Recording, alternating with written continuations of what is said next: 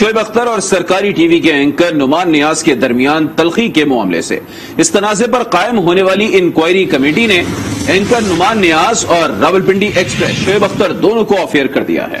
Inquiry committee के मुताबिक जब तक इंक्वायरी जारी है दोनों किसी प्रोग्राम में शरीक नहीं होंगे।